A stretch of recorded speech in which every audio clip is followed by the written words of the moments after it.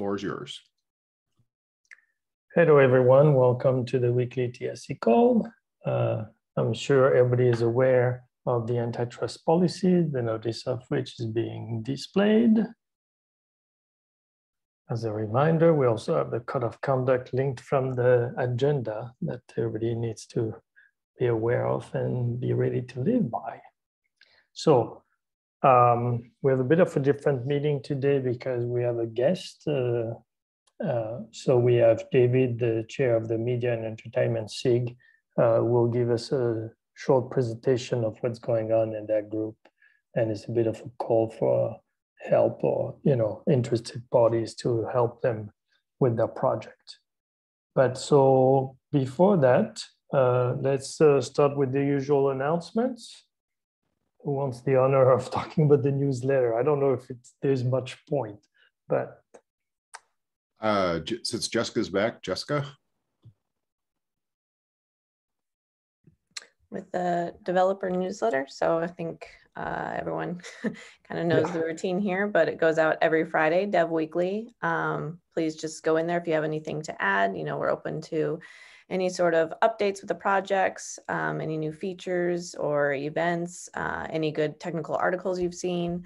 Um, please help us fill that out. Uh, I think we've grown to over 1,200 folks on that list. So uh, people are reading it and appreciate the content. So if you can, please update it.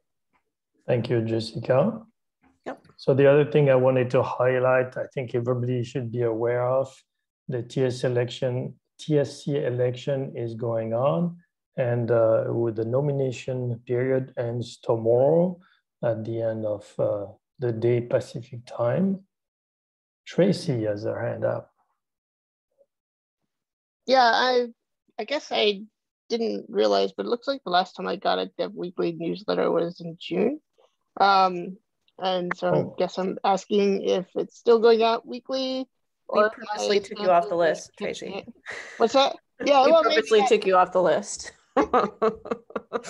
Yes, it's still going out. That's strange. Um, okay, I'll check my uh, spam filters to see what's happening with that. yeah, I mean, just ping me if if if you know you're you're still signed up to it and everything. We'll we'll figure out what's going on. But it, it it's still going out every Friday um, afternoon okay. Eastern time. Thanks, Jessica. Yeah. All right, and then so to, to again back to the election. So the election is ongoing. I think all the TSC members except for a couple, namely Mark and Gary, are running again. And, um, and we have a whole bunch of new candidates, so I look forward to, uh, to this. But so beware, if you know of anybody else you want to nominate, tomorrow is the last chance. And um, so let's, uh, is there any other announcements from anybody else? No, okay.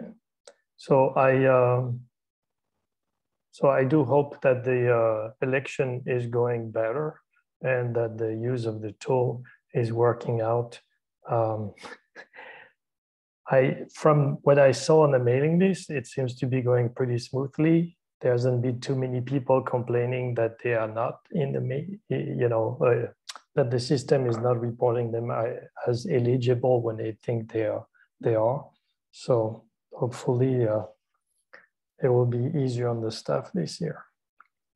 Sorry, so let's get back to the agenda, quarterly reports. So we have a couple of uh, older ones, so to speak. So Cello, that there was something we already had uh, last time. Uh, there is nothing new. It's, you know, I, just before the call, I went back to it. Seems like there is no issue that needs to be raised, but this is your chance to raise any other issues you might want to bring up. And uh, otherwise, we did receive the Burrow project report. And uh, I mean, they are saying there isn't much happening. It has been a bit slow, mostly due to summer, but uh, they are still making progress in uh, publishing releases. And then just before the call, basically, we received the URSA report. So as I was saying, Hart is not on the call. is traveling, but it did manage to get the report out.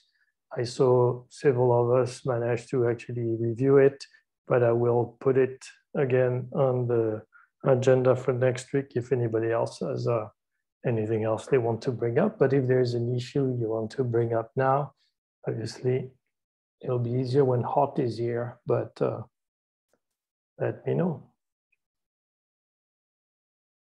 Arun.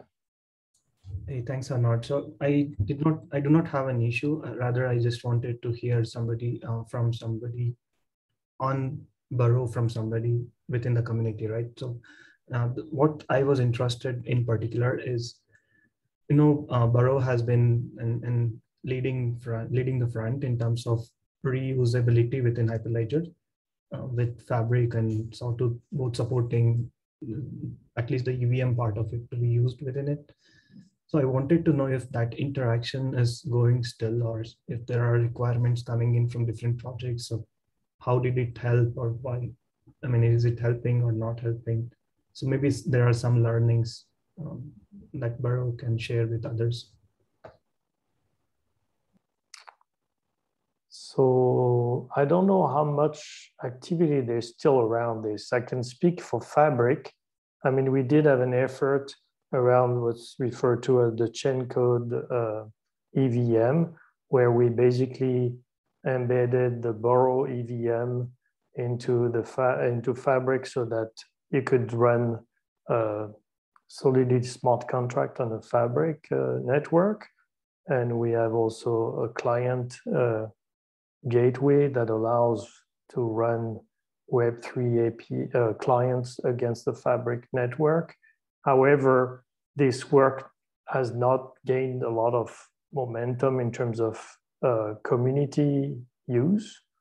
And so the people who are actually involved in this work have left IBM, and I don't think anybody else really is working on this. So this piece, unfortunately, at this point is kind of dormant. And um, so I don't think there is any active communication anymore with Burrow on that front. And Dave may know something I don't know, but uh, I believe that's the status. No, it's been dead for a while. I don't haven't heard of anybody using it. And you're right, yeah. the maintainers are not maintaining it anymore. All right, Tracy. Yeah, so I just I want to go back to maybe where Arun was trying to get to, which is how did how did this all come about? How did it it play together? So I remember in uh, one of the first Hackfest that I attended, I think it was in DC, um, where both folks from the Burrow community and folks from the Sawtooth community were at that Hackfest and decided that they wanted to see what it would take to to bring the EVM to Sawtooth. And so they got in a room during that Hackfest and they they started that process of, you know, um, the discussion around how to how to make that happen and then uh, because they had had that opportunity to be face to face and uh, be in a room and work on the whiteboard uh, after they went back their separate ways they were able to to better keep in touch and um, make that happen. So arun i don't know if it was more about um, your question was more about how do we get people to work together but that's how that one particularly came about. Thanks tracy and thanks um, Arnaud and Dave. I, I guess all three answers kind of gave me what I wanted. I wanted from both perspective, but yeah, this clarifies a bit. I, I know there are a few more projects who are looking for collaboration and they may be willing to learn how they could collaborate with rest of the projects in the community. Uh, specifically around, I guess one of the meeting that I attended was on um, uh, a presentation on Firefly and, and they run a weekly call, right? So I was interested in to see uh, when they proposed fabric connectors to Firefly, just to understand how that is built and what kind of collaboration is possible. Looks like there are components that could be reused across, not just within Firefly, but it could as well be just a, a component that can supplement Fabric project, for example. And that's when I had this thought or the question. And yeah, sure. Probably we should see if we can do something to improve the collaboration in terms so, of reusing components?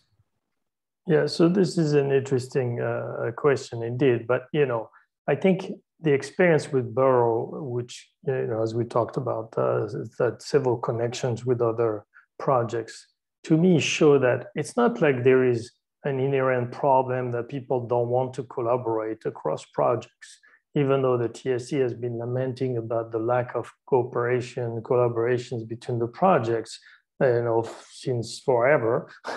Uh, to me, this is really because, well, you know, it's not because people don't want to, is that when the experience that we just saw, we talked about with Burrow, shows in fact that when there is a common interest, the, the, the collaboration can take place. There's nothing really stopping that from happening.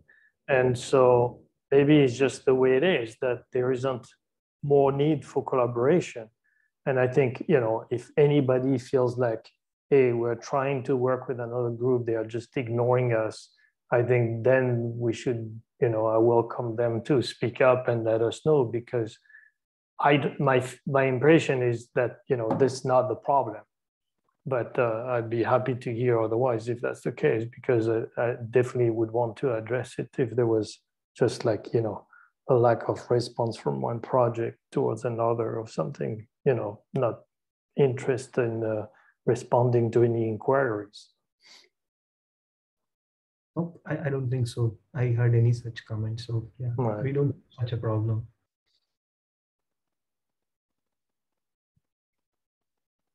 So it's a matter to me, it's really, it shows that it's a matter more of uh, finding something that, you know, will trigger interest from two groups, two different projects to say, yeah, I have an interest in making this happen. Let's work together. And even the, the cases we talked about, you know, you could say these were projects that were competing with one another because it was between the different ledgers. There was still collaboration happening. So.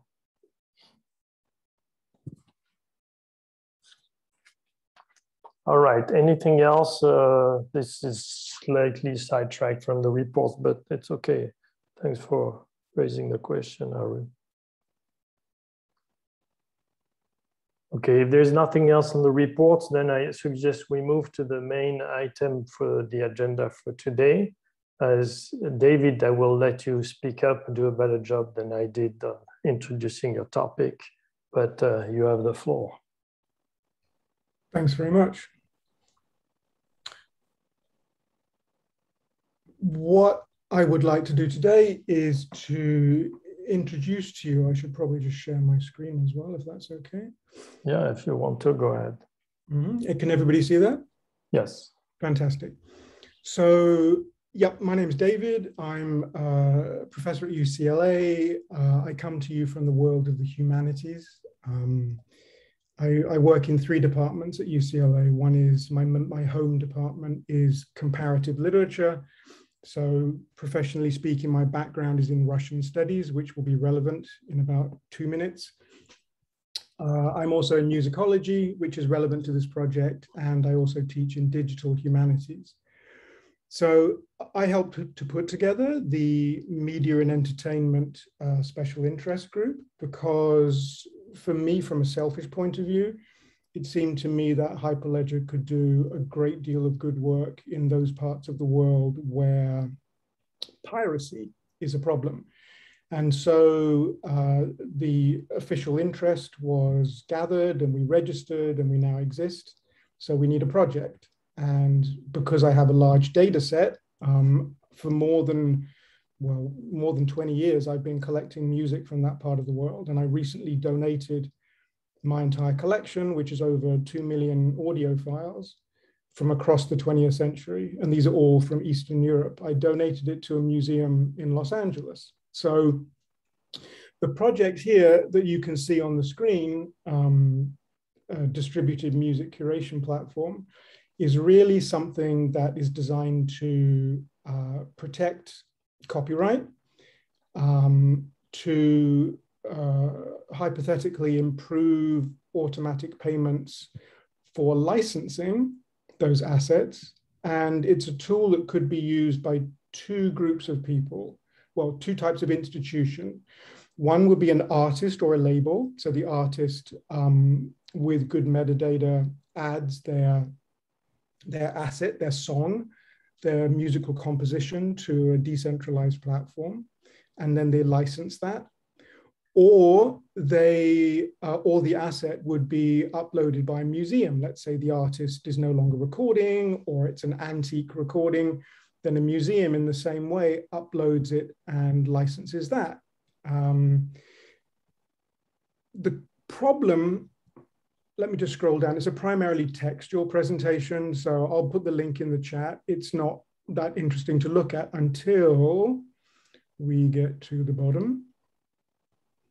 And this is the, the way that the, um, the metadata is being embedded in the file. So this is a tool that I'm using together with the Fraunhofer lab in Germany. These are the people who are responsible for the creation of the MP3 so you can see there's multiple ways of searching for an asset. It's not just a matter of artist and title and publication, so album or EP, but it's also beats per minute. It's the key, excuse me, it's an algorithmically calculated uh, guess at what the genre might be.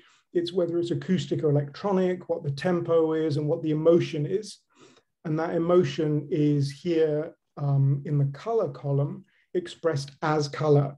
So whatever the um, data set happens to be, the, the software determines that there is some meaningful collection between given files and expresses that connection as a color. So there's something that connects yellow files, for example, that would allow somebody who doesn't understand the language, maybe doesn't even know the alphabet, to search through the files and find something similar to the track that they're already listening to.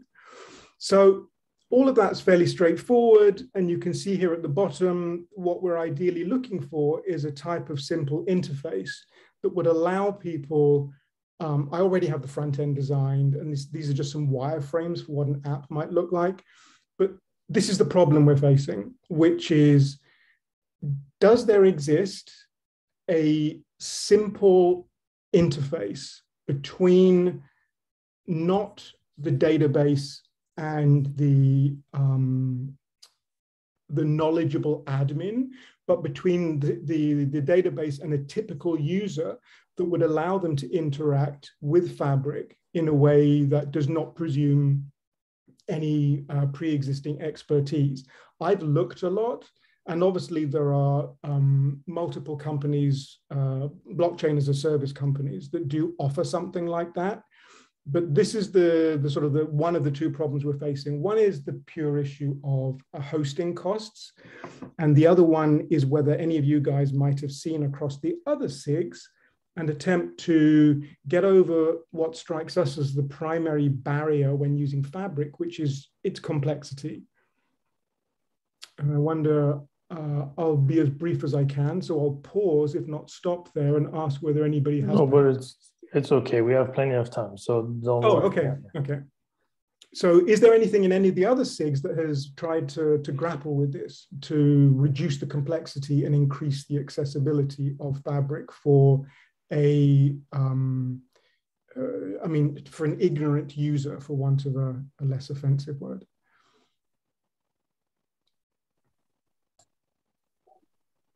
So I don't, Angelo? Yeah, I, am not sure if uh, I understand complexity, how, what you mean exactly with complexity, but this was one of the goals of the Fabric Smart Client uh, to simplify, to reduce to the bare minimum uh, the complexity of dealing with, uh, with Fabric, which means that you don't even know, you don't even need to be aware that you are uh, um, facing a blockchain, that you are facing Fabric. You just are provided with the um, something that is closer to the business uh, uh, to the business processes, and then uh, the, the, smart client will will transform it to um, to Fab to something that Fabric understands. What about a user interface though? The actual the the client facing interface itself. that's up to you. I mean, that's uh, the client user interface. Um, if you're using a web UI or another type of UI, that's uh, it's not part of the smart client. Yeah, that's what I was wondering. I mean, I've looked now for over six months and I check regularly, but it doesn't appear as if anybody is actually doing that. But what do you mean with the UI? Because uh, that would depend on your specific application, no? Yes, but if you can imagine that, let's say if we take the two use cases here, one is an artist and one is a museum, then that would be, you'd imagine the basic UI that somebody in the supply chain might also want, which is track and trace. Let's say upload, track and trace. So it would be the same interface, crudely speaking, that somebody in any supply chain would want to um, uh, generate and employ. So you are looking for something that is already pre-packaged um, out of shell. Uh, well, at least in its fundamental architecture, yeah. And I would, I would, it would seem logical that one of the SIGs might have encountered a related problem. Okay, so this is something different. Yeah. Arun has his hand up. Hey, um, Thanks. I, I wanted to understand the problem in more detail. Sorry for that. Um, so what you're looking for is a UI that has certain features pre-built into it. And then you're okay to spend some time on, let's say, the fabric client part of it, right? So when you say the complexities, I and I am assuming that you're talking with respect to sending transactions to blockchain. Is that the complexity that you're bringing up here? Yes, exactly. I mean, obviously, fabric itself, the way that it is is presented, is obviously assuming a reasonable level of expertise when it comes to, let's say, you know, CLI. And ideally, if if fabric is going to be used by the largest number of people possible, the majority of people know nothing about the blockchain and maybe don't even need to. But if there was a simple interface that would say, this is how you upload an asset, and we in the back end are and guaranteeing a certain degree of security using software that you don't need to understand.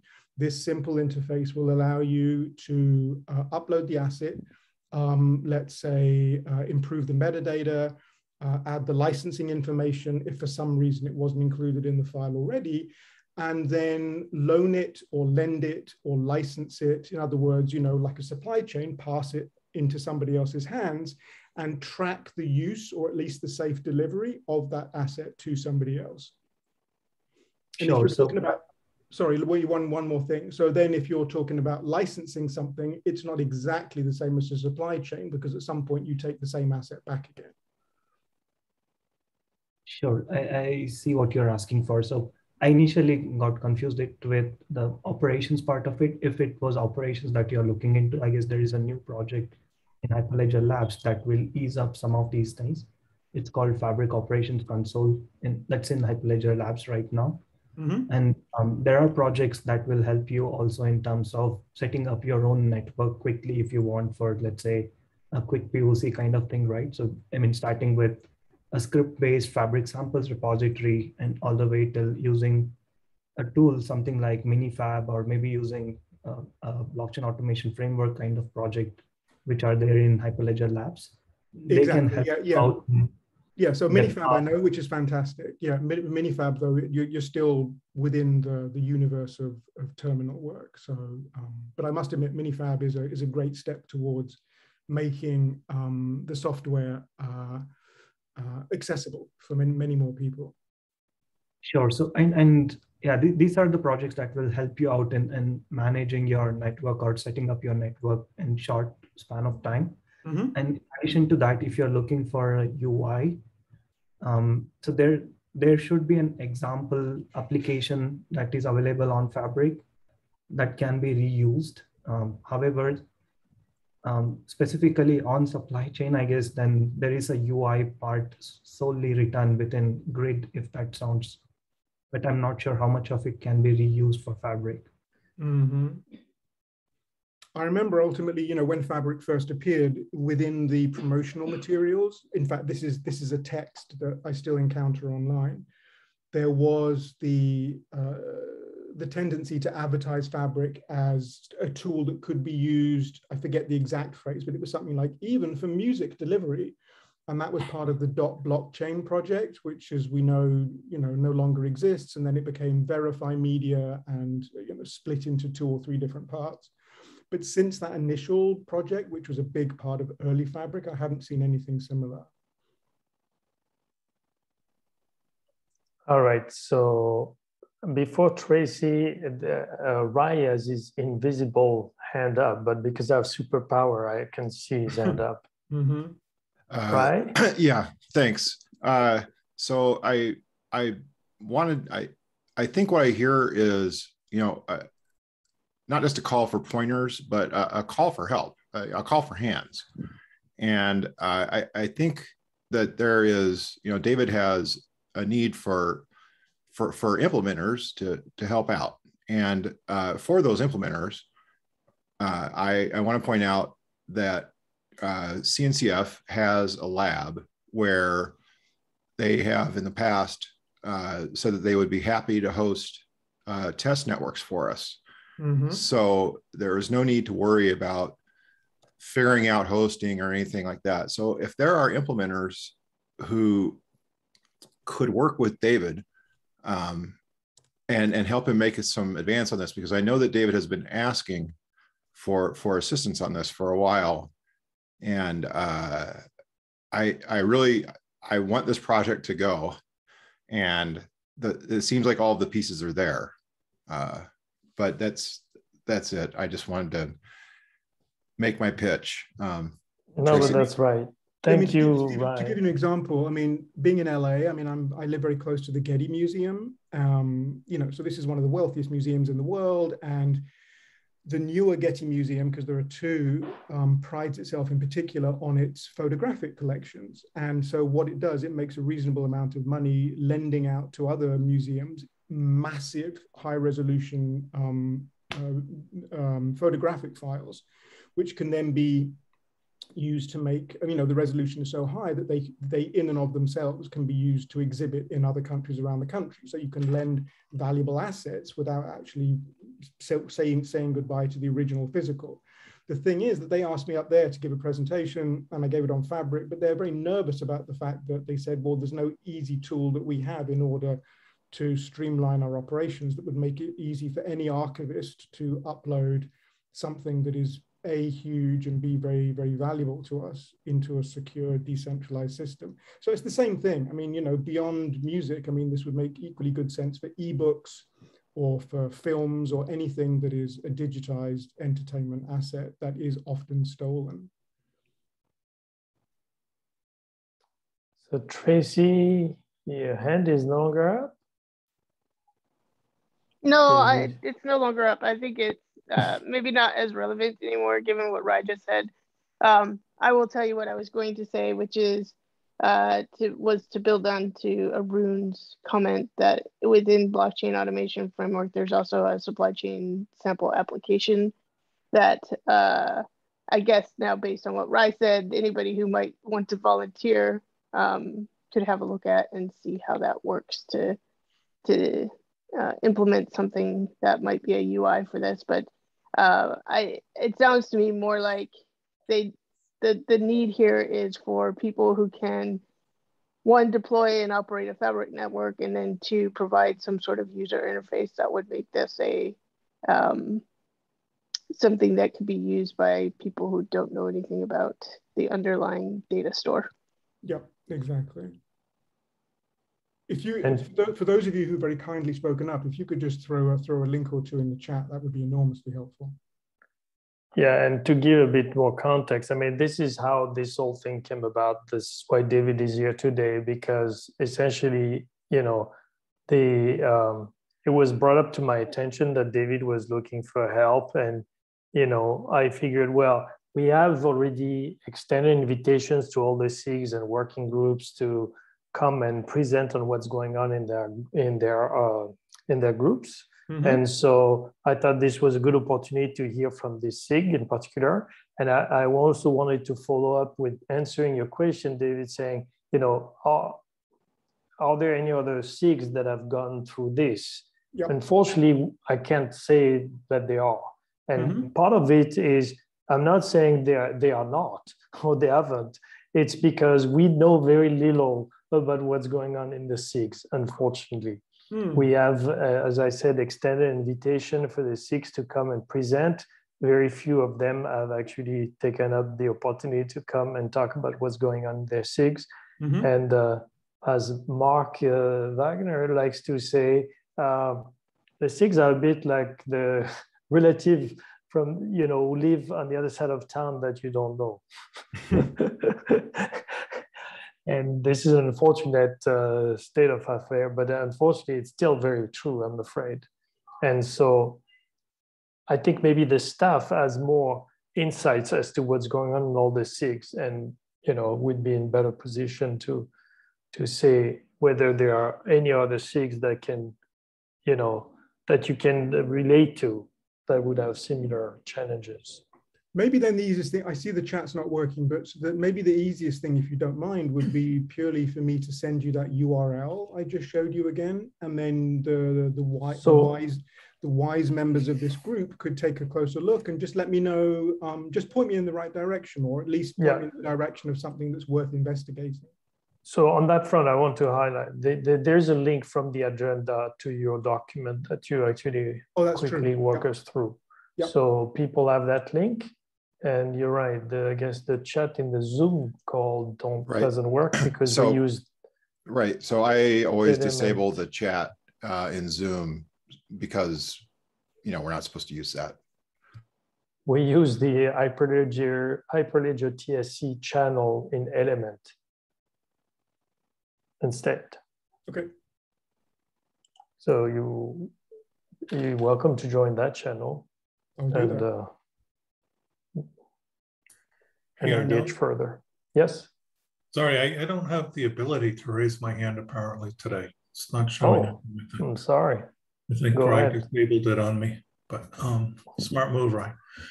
Um, would it make sense to write something up brief uh, for like the developer newsletter, that would hit a wider range of people, sort of saying, you know, is there any type of generic UI or something like that? Um, exactly. If you don't mind, if that's not a hassle, I'd, then I'd be happy to do that. I mean, yeah, just... Mark, this is Mark. This is another David. Uh, I've been supporting David, and that is, yeah, one of the things. Uh, um, yeah, actually, I was going to write up something and send it to uh, the developer newsletter this weekend, and I've been helping David share what's going on in the media sig kind of in, yep. in other channels. But to Arnaud's point, I mean, I, I, do think we have a situation where kind of we currently have SIG somewhat separate from the technical part of the community. So when you know David does do something within the media SIG, I don't think it's re necessarily reaching the people who could help answer some of these technical problems or help implement. So you know, I, I, do think maybe this could be an interesting test to how do we bring the SIGs and the technical community closer together that could benefit, you know, the entire community as a whole. You know, it could help unblock the SIGs, it could help the projects, you know, with requirements, for example, or with, you know, you know, bugs or any all sorts of things. You know, is there a win-win situation here for both the SIGs and the you know technical project community if we do bring these you know groups closer together? Yes, absolutely. And and you know, aside from all of this, I've also um, uh, advised David to send an email to the Fabric mailing list, and I made him aware of the contributors calls we have, you know, uh, on a regular basis. All of these are possible venues where you could, you know, try to reach out to the broader Fabric community to try to get some help. Bobbi has been waiting with their hand up. Hi, um, I just wanted to uh, mention to David that I did drop those links into the chat. And if you want to advertise something, please join us on Monday for the Learning Materials Working Group call, because that's a great place to store your information where people go to look for it. Um, but I just wanted to speak to the issue about the SIGs and the working groups and the technical community. Um, the project, the mentorship project that uh, Hyperledger is sponsoring, we're working with we were talking with the sawtooth people, we're working with the firefly people, and we have presentations in the social impact SIG and the trade finance SIG at the end of the project time. So the special interest groups have been more than accommodating for this mentorship project to let us have space to show off what we've been doing with Firefly. So that's one way just to join their meetings like we did and, and stick our noses in. All right, thank you, Bobbi. All right, if there's nothing else, I think that's it for this uh, item. David, thank you. Uh, I hope, you know, this helps and, uh, you know, get the word out and eventually get some something going on. That'd be fantastic. And hopefully people can reach out to me. Um, I don't know if my email is in the, is at that URL you have. If it's not, I'll add it right now, um, but I'm easy to find. Um, I'm the only person with my name at UCLA. I'm, I'm also assuming this could be used with NFTs. Yes, that's exactly the idea. Yep, exactly with NFTs, because that obviously when it comes to copyright protection, that's a very promising technology as well. And maybe being more, you know, mention that specifically might generate more interest in a newsletter or something. Sure. I mean, yes, absolutely. I mean, considering, you know, the, the, the, biggest splash in the NFT world obviously came in the world of fine arts. It didn't come in music at all. So that's a pretty sexy story when um, somebody sells an NFT that is automatically um, catapulted into one of the most expensive paintings ever sold. Yeah. And sex always sells on the internet, right? Uh, apparently, so I'm told, yeah. and we do Hyperledger, uh, Hyperledger proper has a project that we're working on uh, with uh, HBCUs around some NFT uh, training.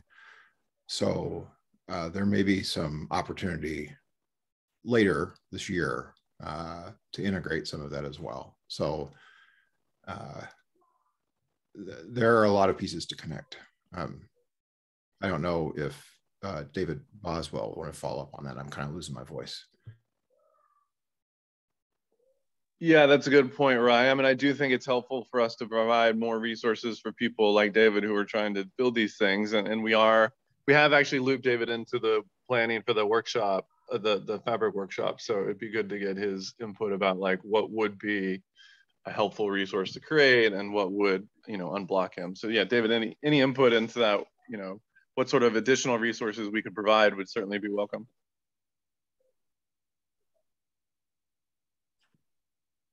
All right. So I think that closes it. Thank you again, David, and uh, thank you very luck. much. That was that was very kind of you to to have. Uh, no problem. I'm happy to help if we can. So I mean, you feel free to drop off now or stick around if you want to have some insight as to what we are doing in this group. Although we don't have the most exciting agenda for today, other than what we already covered. Um, so let's get to this. Uh, let me first ask the other TSC members if there's any topic in particular they would like to discuss now. Okay, if not, then I thought we should have yet another look at the backlog and see where thing, uh, things stand, because I have the feeling that you know some of these items could be basically closed slash abandoned.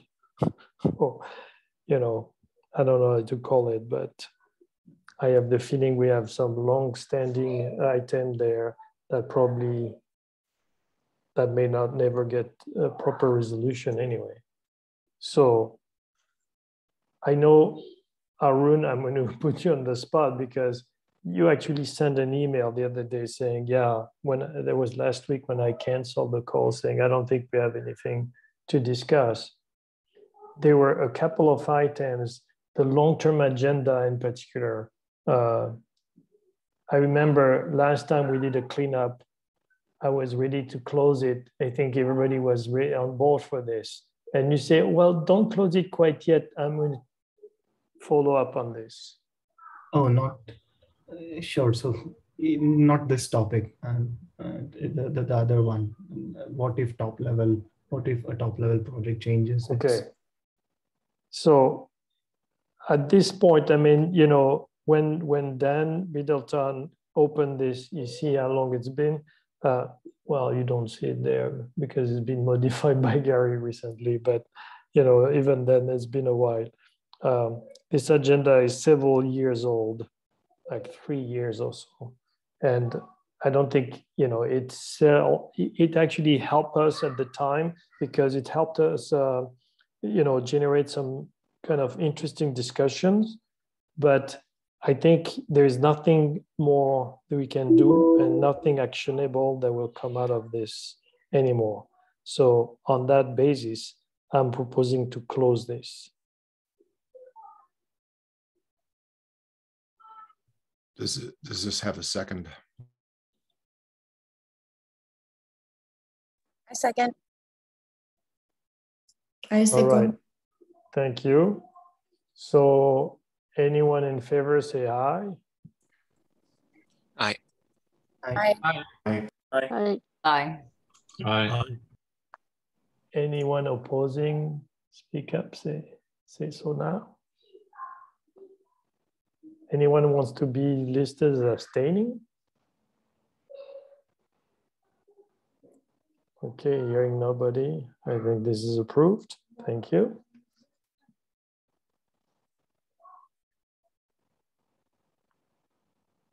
So I can give a quick update on the DCO and pseudonyms because this was, I mean, I don't have an answer, unfortunately, but Brian told me that this is not forgotten.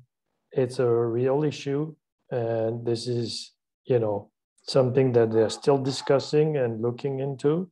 I did point out that in our case, and by the way, I should mention that there is a sister project to Hyperledger called the Open SSF.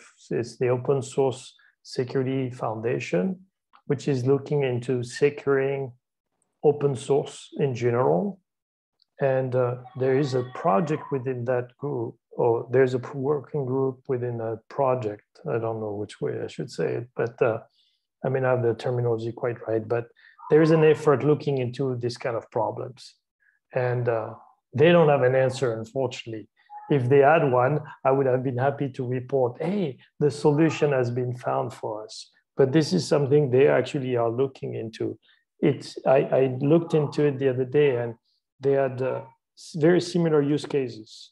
It's not the only ones, but this this you know need for anonymity is actually recognized as a general problem. And so what I'm trying to say essentially is there may be hope, you know, that the solution will be coming from elsewhere, and then we'll just be able to adopt it but that still means for us right now, I do think we should keep it open because this is worth uh, uh, addressing for real. And whether we address it ourselves or it, the solution comes from elsewhere, I think this is something we want to keep on our, on our agenda. Danno, go ahead. So can we go back into the DCO and pseudonym page? So the sixth and the seventh options um, at the end, the last two, I think, are the two if we have to work independently. I'm go up to the bullet list. Some possibilities. The last two, I think, are the two if we need to act without them providing guidance. Are I think the ones we should go for.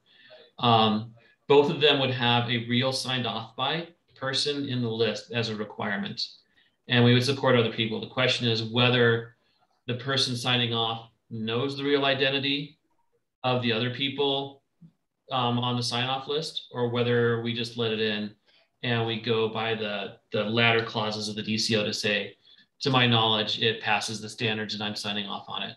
So I think those, if, if we don't get clarity from, from that other group, the security group, and we need to get a policy, and I, I think we need to get a policy at some point sooner rather than later, rather than letting this drag on, even if we change it later when we get their suggestion. But those are the two that I think we should consider between those. I think anything from um, of the first five, I don't think will give us the protection we need.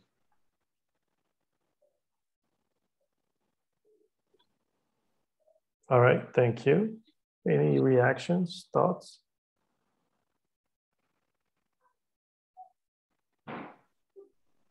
Tracy, go ahead. Uh, the only thought I have to that is the hit by a bus uh, example where the person who knew the pseudonym is hit by a bus, uh, then we still don't know like who that person was, right? If we have to go back and, and do any sort of uh, digging into that particular request or pull request. So that, yeah, um, that is how, so when you, I guess it means what, what sort of liability we're taking on when we do a signed off by for someone who we don't know. Um, and my thought is if you're doing a signed off by, what if a person you know gets hit by a bus and can't be held accountable? You know, it's the same situation as if you sign off without, with fully known signature and you're the only sign off by on a questionable PR and you're hit by a bus um, and they can't get a hold of you. So I think when you do do a sign off by for someone whose identity you know, you're accepting some of the liability or someone you don't know. So I think that's some of the discussion we need to have. And I don't think we should expect maintainers, um, require maintainers actually to do signed off by people who are not willing to unmask publicly. Um, so that's, you know, one twist to it is that by doing a signed off by, you're accepting some of the liability, if such liability exists, or at least some of the uh, answerability for, for that situation. Um, yeah, and if, if they can't find you and they can't get to the real person, that's just a variation of the if one person signed off by and they can't find that person. But at the same time, we can't require maintainers to sign off on anonymous and semi-anonymous people because of that liability. I think um, as well. Uh, I mean, let's just let's forget the DCO part of this. I, I see this as like if someone if someone snuck in code of unknown provenance, uh, there would be a re-implementation effort, right? So if we ended up in a situation where, you know, one side or the other of this transaction or both, I mean, if if someone if someone just died, you know, how would you resolve their licensing issues? Uh, if you couldn't, you would need to re-implement it. So it's not like there's no solution to this problem. It's not the best solution, but I, it's not I, I, think the problem is slightly different because it's a it's a, a commitment issue, right? Uh, when you sign off, you commit that you know any IP you have, you're making it available freely for the project to use.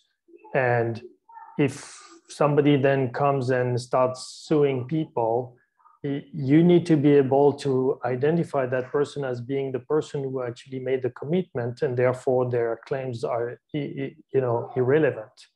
And if the person who could make the connection has been hit by a bus to follow uh, tracy's example then you can never prove that. You've lost the only link you had. I agree that the, the solution might still remain that, well, you have to rewrite your code, but uh, it's a bit of a different take on it. Troy has his hand up. Sure, yeah. I, I, my personal opinion is when we start saying liability, I don't think maintainers should be doing this. Um, my second point is if we were going to have this, it should actually be Linux Foundation who's registering people um, and maintaining that list, not maintainers.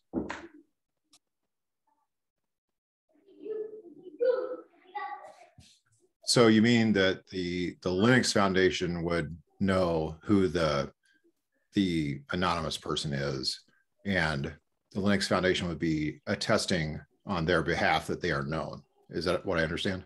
Yeah, or Hyperledger Foundation, whichever organization we're talking about. I, I think it should be the foundations making these policies and making the tools and making the registrations. I don't understand how maintainers are going to do this um, with all of the discussion that we've had. And I particularly don't like, um, you know, the thoughts about liability. It just doesn't ring uh, uh, right to me. Gotcha. Thanks for, thank you for clarifying that. All right. So I actually didn't mean to dive into this topic, although clearly it's still of interest to a lot of people. I, it's pretty obvious that there is no easy solution. But anyway, back to the cleaning exercise, I meant to say, I think this is still something we want to keep there, whether we can make progress or not. It's not something we can just, you know, sweep under the rug kind of thing. So let's go back. Can we go back to the backlog? Um, was there any low hanging fruit? Yeah, the restructured greenhouse, uh, we don't have to worry about this. Uh, the task force uh, was in charge of the, was in charge of this um, is just completed uh, has just completed its activity. And so there's actually already if you go to the website the website has been updated. And maybe at this point we can just close it as completed. Is there any reason we can't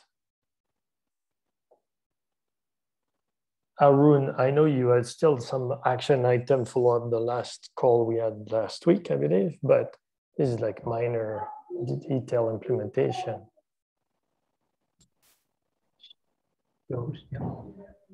So for those who haven't looked at it, you know, I invite you all to go back to the website, hyperledger.org. And I know a lot of us don't get there very often, but uh, you will see that the greenhouse is no longer there. Instead, we are using uh, a tool that has been, you know, that is being more and more widely used across Linux Foundation and that allows to display, you know, information in different ways. And so this is, you know, the website has been revamped.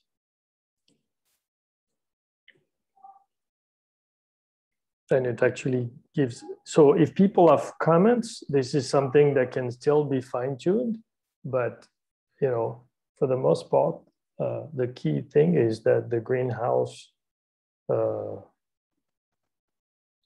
Click on no use. Hmm?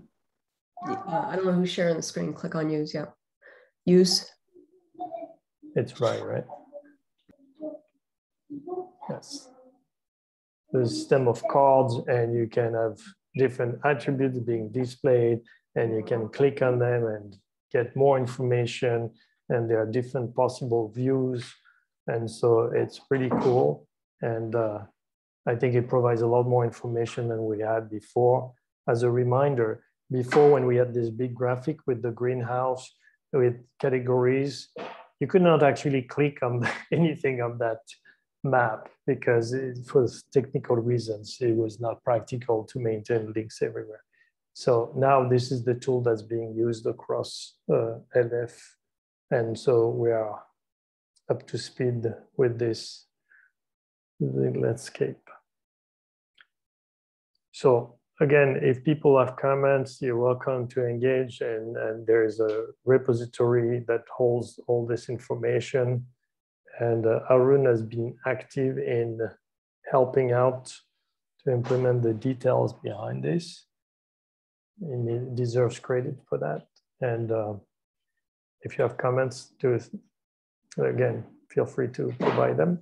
But so as far as the backlog is concerned, again, I think we can close this as done. Arun, am I missing anything? Would, would that even need a vote? No, I don't think so. It's like we, you know, we agreed we needed to do this. The task force was created. It has completed its job. It's, I mean, I'm, I'm, I'm of the opinion just mark it as completed. That's it. I don't think we need a vote. This is like, I don't think we need to vote on facts. Although, you know, there are alternate facts for some people, but going to say nowadays we might. No, I do not want to endorse that point of view. Sorry. All right. I, I, guess credit also goes to Tracy for, um, for this thing that she started initially. And I'm not, I just wanted to um, ask you if you want to bring out the topic that, that the outcome of the last meeting was that if more task forces are required, um, specifically for the topics that we had, it will be brought up, right? So that that is still, and there, there is still possibility that the future work on this could get extended, but with additional task force. Yes, that's a good point. I mean, we had quite a few discussions. Some of them were not directly related to this particular effort, kind of, you know, they, they were like side tracking kind of topics. And we agreed not to drag on this task force, try to tackle these questions within the existing task force, but instead to close it, call, you know, call it a day for now and say, hey, any of those topics, if we want to follow them on, we can create new tasks so that it's clearly acknowledged that it's a different topic and then people you know who have not participated in this particular task force get a chance to participate as well if they're interested. Let's close the label you need to put. Yeah. Thank you. All right we're out of time but i'm glad we killed a few of those. We'll continue. And uh, for now i just want to thank you all for joining and uh, have a good week. We'll talk again next week. Goodbye. See ya.